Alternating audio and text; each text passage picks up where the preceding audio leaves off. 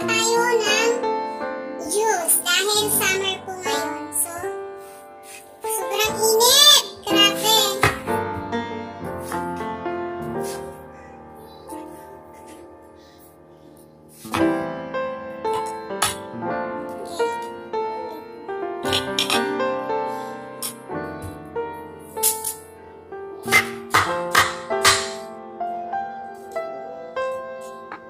Siya pa